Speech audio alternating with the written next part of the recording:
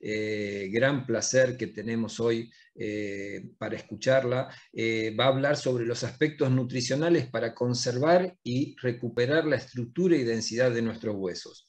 La doctora Claudia Maroncelli es médica egresada con diploma de honor de la Universidad de Buenos Aires, especialista universitaria en medicina interna y medicina del deporte, especializada en trastornos alimentarios y obesidad en la Asociación Médica Argentina, es fundadora y ex jefe de la División de Medicina del Deporte del Hospital Militar Central y fundadora de A Mover la Vida, Encuentro Saludable para Pacientes. Eh, Claudia, eh, te escuchamos y otra vez gracias por formar parte de este webinar. No, gracias a vos, Alejandro, por la presentación. Para mí es una bendición poder compartir este espacio con cada uno de ustedes. Y bueno, y vamos a avanzar rápidamente en esta eh, exposición en donde me pareció importante eh, analizar un poquito las proyecciones estimadas de la población de adultos mayores para el 2050, eh, proyecciones pre-pandemia, porque sabemos que después de esta pandemia la población salimos todos más enfermos, pero sabemos que mayores de 65 años para el 2050 serán un 23% de nuestra población, así que es un número interesante. Y la esperanza de vida proyectada en hombres en este censo y en mujeres fue de 73 años y para las mujeres 80 años de edad. Por lo tanto, si analizamos esta patología a lo largo de todo el transcurso de nuestra vida, evidentemente tenemos mucho trabajo para hacer, constituyendo equipos multidisciplinarios eh, y fundamentalmente bien educados y bien formados. Eh, como bien se estuvo hablando, eh, nuestro músculo hoy forma parte de la definición de salud, dado que produce una conversación metabólica con todos los órganos que figuran ahí a través de la secreción de más de 6.000 mioquinas, por lo menos hasta ahora descritas, lo cual hace que esa conversación metabólica permita analizar el diseño precioso y humano y maravilloso que es el cuerpo humano que verdaderamente funciona como este equipo de Fórmula 1. Necesitamos estar eh, bien vinculados, ese Batman y Robin, estar trabajando en equipo, los profesionales fundamentalmente, en pro de la salud ósea de nuestra población. Y los objetivos de esta charla es recordar factores que pueden afectar la nutrición del adulto mayor y vincular los nutrientes esenciales con la salud ósea durante el envejecimiento.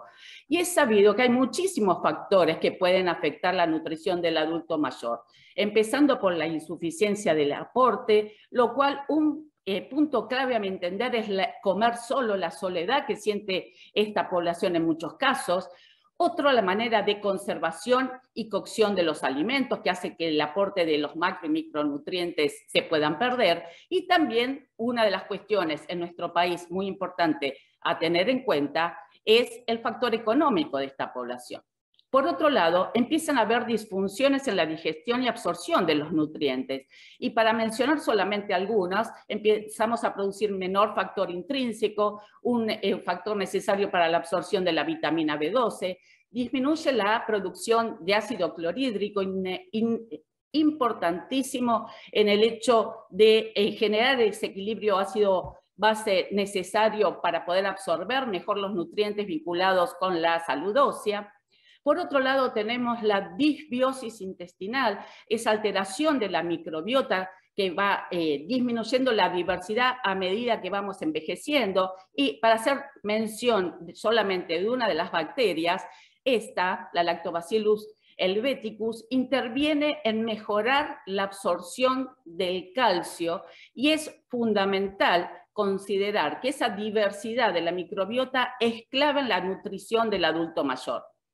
Por otro lado, podemos utilizar en forma alterada esos nutrientes a través de las enfermedades crónicas e interacciones de fármaco-nutrientes que sabemos muy bien que en esta etapa de la vida eh, la mitocondria con su producción de radicales libres con mayor efectos oxidantes son causales de eh, la inflamación crónica leve productora de muchas enfermedades. Por eso es, un blanco de trabajo también esta organela tan importante. Y la polimedicación de la población eh, adulta mayor que en general estorba tanto la digestión como la absorción, como el transporte y la utilización de los nutrientes incorporados.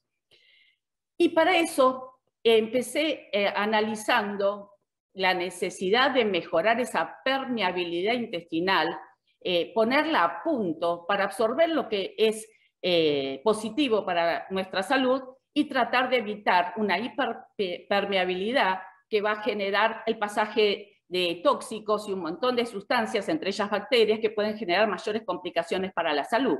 Y este aminoácido no esencial y sí condicional, porque lo requerimos en grandes dosis, que es la glutamina, es indispensable para la salud del enterocisto. Es precursor de la síntesis proteica e inhibe su degradación. Por eso también se usa muchísimo en deportología post-entrenamiento. Es inmunomodulador y a nivel puntual de lo que yo quiero marcar, que es el intestino, es el nutriente para las células intestinales, mantiene sana la barrera intestinal, disminuyendo la hiperpermeabilidad intestinal y evita la traslocación bacteriana, generadora de muchos complejos e inflamatorios leves crónicos.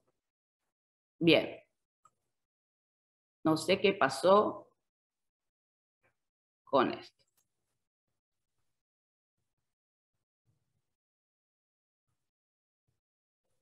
Si no, Claudia, eh, salí de pantalla y volví a poner. Bien, a ver. A veces pasa por ahí algún botoncito y... Ah, perfecto. Gracias, María. A ver si de esta manera podemos continuar. Disculpen. No, es como que se aumentó el tamaño, ¿verdad?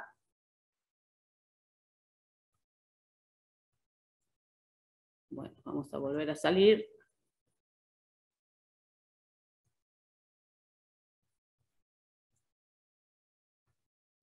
Si, si no, Claudia, volver a abrir y si no, pasala de la otra forma sin abrirla. Exacto. Que queden más chiquitas. ¿Les parece?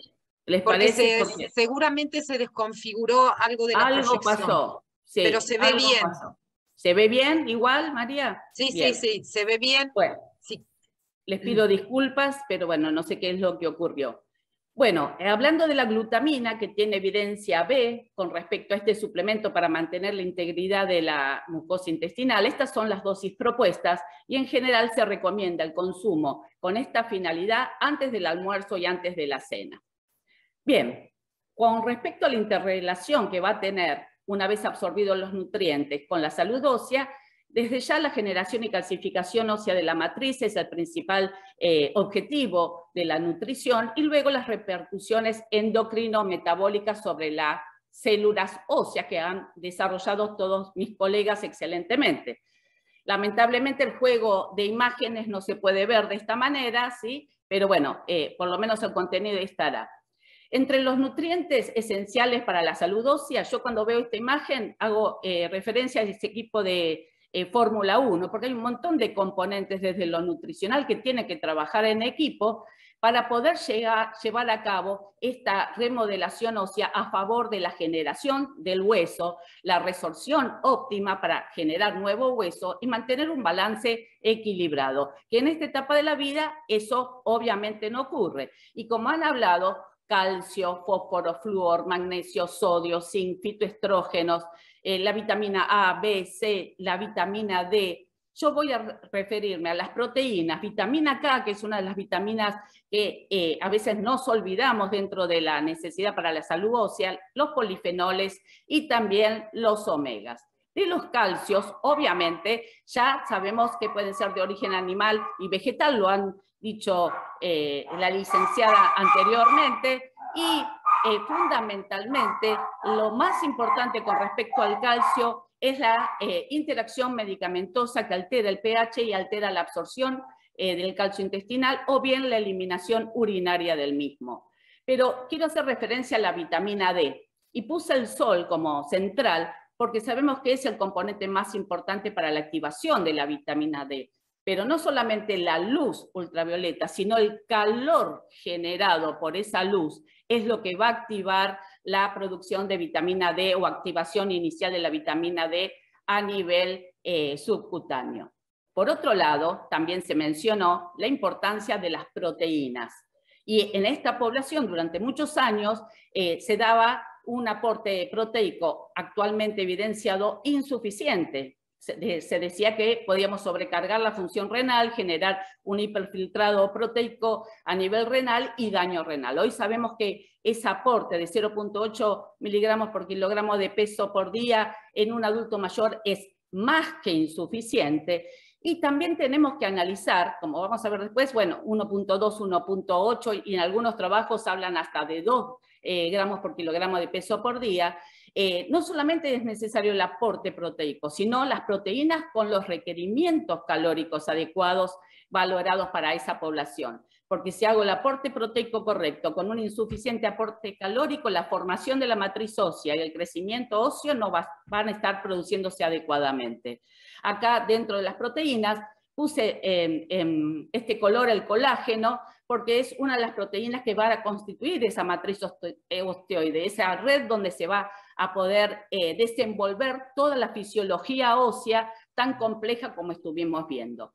Hoy la recomendación eh, diaria de adultos mayores de proteínas es 1.2 a 1.5 gramos por kilogramo de peso por día en la mayoría de los estudios investigados.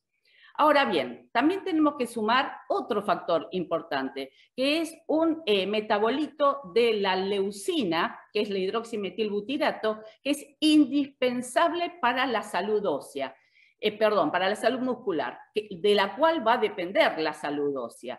Este eh, elemento que se obtiene a partir del metabolismo de la leucina, hoy viene suplementado y tenemos en este punto eh, que pensar en la nutrición de la masa muscular para mantener una buena conversación metabólica con el hueso. Por eso sabemos también que hablar de nutrición corporal o orgánica no tiene que ver con la nutrición muscular, porque hay tiempos donde uno puede aplicar algunos suplementos nutricionales o nutriciones o micronutrientes o macronutrientes especiales que tenemos que contemplar para que rápidamente esa proteína llegue al lugar que queremos, que es la masa muscular.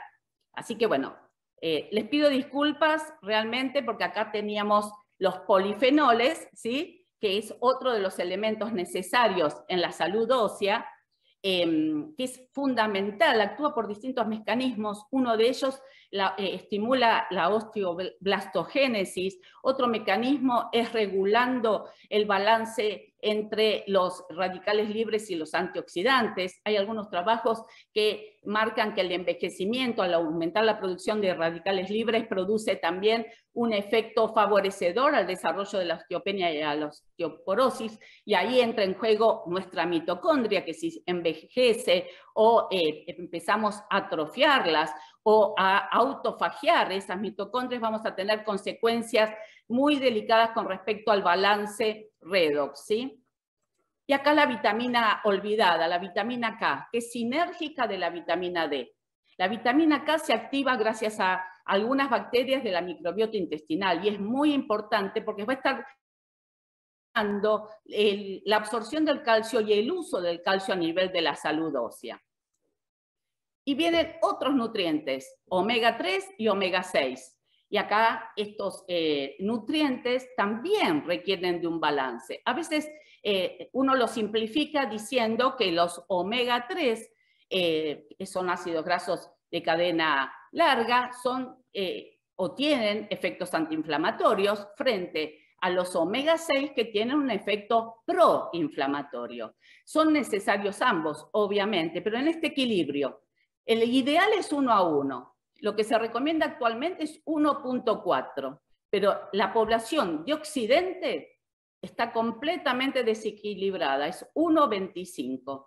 ¿Y qué hacen estos omegas con respecto a la salud ósea? También efectos, eh, como figuran ahí, antiinflamatorios, antioxidantes, y también es importante en el depósito y la mineralización de la matriz ósea. Por lo tanto, necesitamos este equilibrio y este aporte nutricional para también sumar a todos los otros nutrientes que venimos hablando.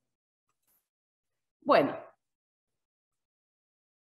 y acá vamos a, jugar un poquito, a ver si lo puedo correr. Tiene que ver con el hueso gordo, que eh, Alejandro habló, María habló, ¿sí? Eh, si lo corro se me va de la pantalla, lamento mucho, no sé qué pasó, pero bueno, vamos a ver si lo puedo bajar un poquito. Y empieza en algo propio del de, adulto mayor, envejecimiento pasivo. Ese envejecimiento pasivo aumenta el tejido adiposo y existe una relación inversa entre la adipogénesis y la osteoblastogénesis, tal cual explicó la doctora Larraude hace unos minutos. Por lo tanto, frente a esta relación, aumenta la grasa de la médula ósea, engordo el hueso. Fíjense la grasa cuántas complicaciones nos trae, ¿sí?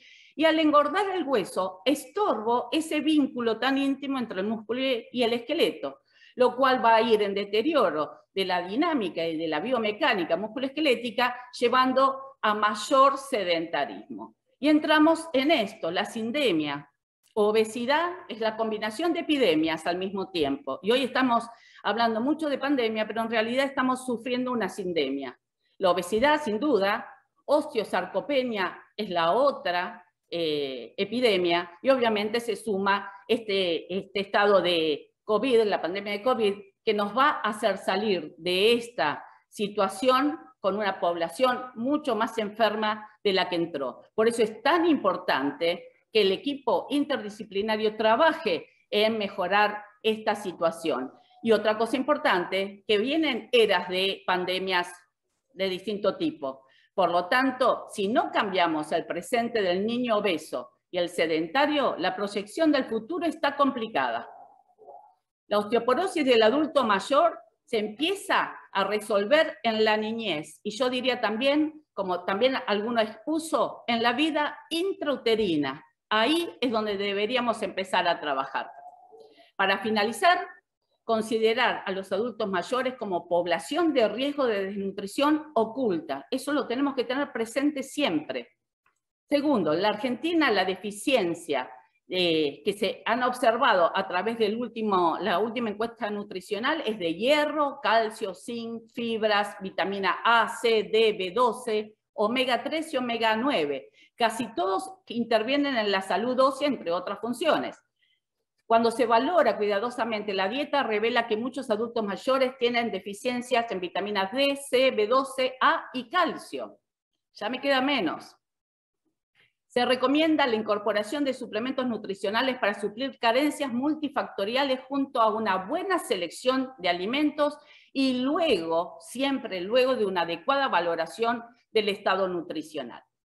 Y para terminar, para mí a esta edad es muy importante la eh, vinculación de estas tres vitaminas, la vitamina A, B y C, abrazos, besos y caricias.